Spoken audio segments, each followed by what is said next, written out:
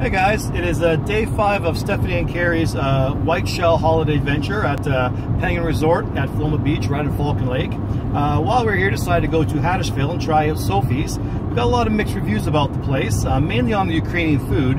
Of course, I don't do Ukrainian food, I always do the signature burger, so I decided to get that, which is the Sophie's burger.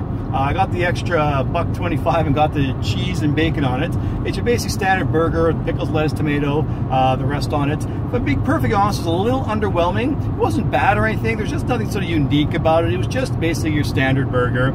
Uh, the poutine, however, was very good. Uh, kind of a unique um, seasoning to it, very cheesy. The restaurant itself was great. They got great indoor dining that uh, benches outside outside. They got a screened-in patio as well. It was great. Uh, regarding the Ukrainian food, I'm going to let Stephanie talk about that because she is the Ukrainian food expert in the house. Hey everyone, so I got to try the Ukrainian portion from Sophie's. Uh, so where Carrie does burgers, I like to try uh, different things. So I had the borscht and the potato pancakes borscht was so good. It was uh, super flavorful, had lots of dill, which I am a really big fan of. Um, so if you like dill in your borscht, uh, this will be your, your borscht uh, to go to.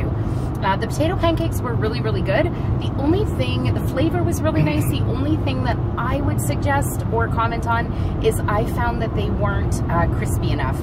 But all in all, really great uh, Ukrainian selection. The milkshake I had was delicious. It didn't have chocolate, it had vanilla, but I thought it was an excellent milkshake. I would recommend a milkshake from there. They also do a very good breakfast, apparently. Uh, we didn't get the breakfast, but they do have a big, big breakfast menu. Uh, it's very popular for breakfast. Um, you know what? I would love to hear your opinion. I'd like you to get out there and try them. Let me know what you think. Uh, and as always, please support local.